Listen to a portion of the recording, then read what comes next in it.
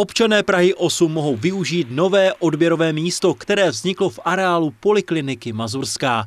Městská část tak reaguje na zvýšenou poptávku lidí, kteří se chtějí testovat na COVID-19 a velkou vytíženost odběrového místa v nemocnici na Bulovce. Proto i Městská část Praha 8 sama od sebe v rámci své iniciativy se rozhodla ve spolupráci se společností Esculap otevřít toto odběrové místo. Logicky to navýší testovací kapacitu, která je prostě klíčová ke zvládnutí nynější epidemie COVID-19. Odběrové místo je otevřeno od pondělí do čtvrtka mezi 8 a 15 hodinou, s tím, že mezi 11 a 12 hodinou je pauza. Zájemcům se doporučuje využít rezervační systém, který naleznou na webových stránkách askulab CZ. Dá se tady zaplatit bezkontaktně eh, přímo na místě a do budoucna plánujeme, že ta platba proběhne přímo přes ten eh, objednávkový rezervační systém. To znamená, pacient dorazí jenom na místo, bude odebrán a následně výsledky a veškeré informace mu dorazí elektronicky eh, do e-mailu. Zdravotníci jsou schopni odbavit jak samopláce, tak i lidi s elektronickou žádankou od lékaře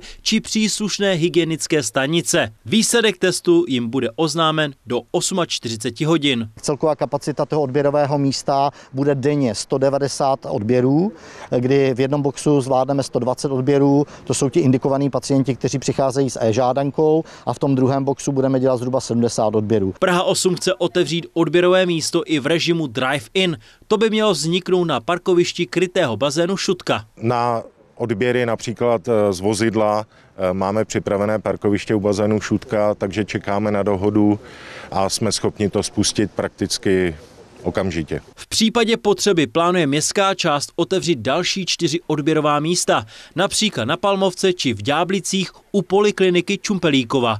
David Vilček, Televize Praha.